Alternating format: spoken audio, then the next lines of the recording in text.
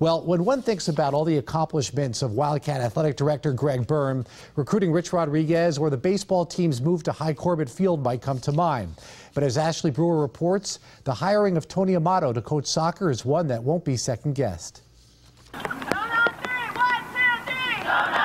Could this be the greatest Wildcat soccer team of all time?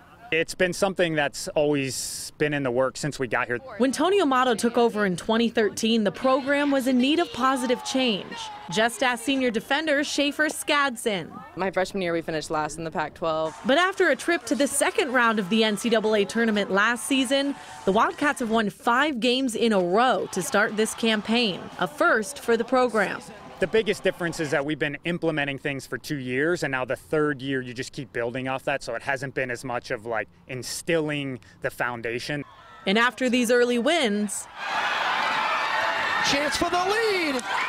Go! Arizona has a chance to sneak its way into the top 25 rankings. We weren't ranked that high before, so just every game that we win, we know that it puts us higher and higher. Ranked teams are the ones that are supposed to win the games, and we have nothing to lose. So we definitely bring it to light, and uh, we, we relish in that. The Wildcats now take their best start in school history into the Arizona Cats Classic this weekend. The Wildcats will host 18th ranked Texas Tech on Friday, and then on Sunday, 14th ranked Pepperdine right here at Mulcahy Stadium. Arizona soccer, you know, best season ever, and like stuff like that is like so fun to like be like, oh, I'm on that team, or like I'm a part of that success. Ashley Brewer, KGUN 9 on your side.